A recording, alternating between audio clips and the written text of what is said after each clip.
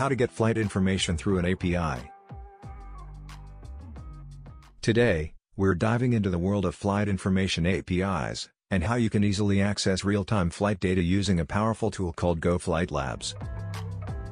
Flight information APIs provide a gateway to access real-time data about flights worldwide.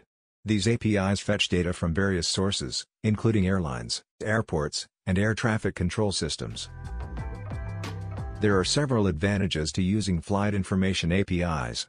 First and foremost, they provide accurate and timely data, allowing you to stay informed about the latest developments in air travel. Additionally, flight information APIs are scalable, making them suitable for a wide range of applications.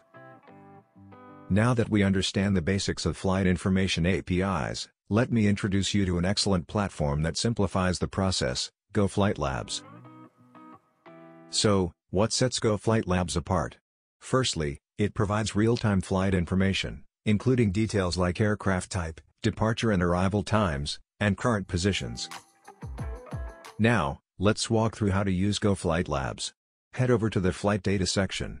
Here, you'll find a user-friendly interface that allows you to search for flights, view detailed information, and even track flights in real time. The API documentation provides all the information you need to integrate this powerful tool into your applications. Try it at goflightlabs.com.